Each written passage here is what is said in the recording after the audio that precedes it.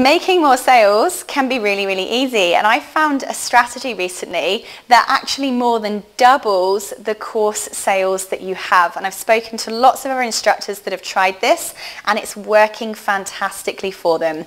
And that is simply working with other instructors.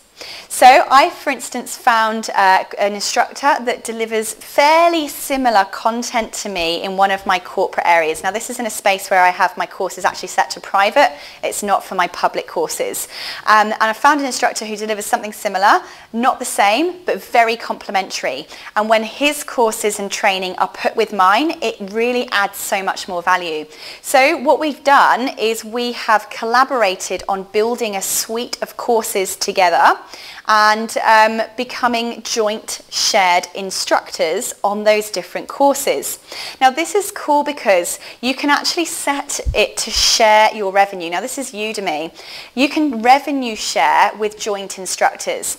Now what we did for instance is we looked at all of our learning outcomes, we, we devised a, a curriculum together and we then filmed them and we looked at how many minutes or hours of filming versus work that we put into the program and decided for each course what we felt the fair revenue share would be. So for some of them it's 80-20, for some it's 50-50, for some it's 60-40. You can set the revenue share to whatever you have agreed between you. It is. It doesn't have to be one instructor, it could be with multiple ones.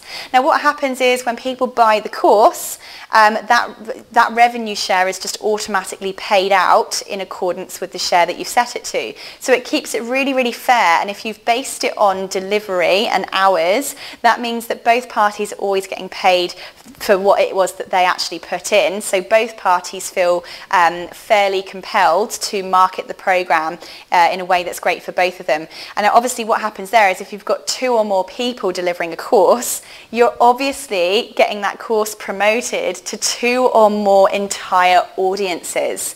So this I found has been fantastic for um, increasing the sales, increasing the revenue, increasing the marketing, increasing all of that activity that, that, that gets more money for us and for the businesses. So um, consider who could you possibly work with? What other instructors are in your field that would complement the programs that you run so that you can both benefit from each other's sales, marketing and audiences?